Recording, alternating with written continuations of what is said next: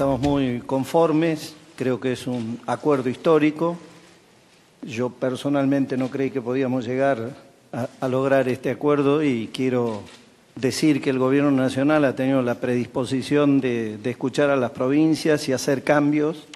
De hecho, si vemos el primer texto, se ha modificado bastante. Esto que acaba de decir el ministro de Interior, la derogación del 104 es una prueba de ello y es uno de los temas que las provincias hemos venido reclamando por mucho tiempo, porque ese artículo generaba detracciones de la masa coparticipable para el ANSES.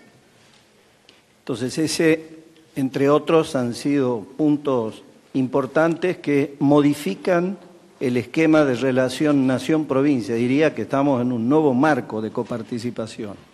De lo que he escuchado de mis pares gobernadores del Partido Justicialista, eh, decirles que es la primera vez que los gobernadores sentimos que no perdemos ante el pacto que se ha suscrito.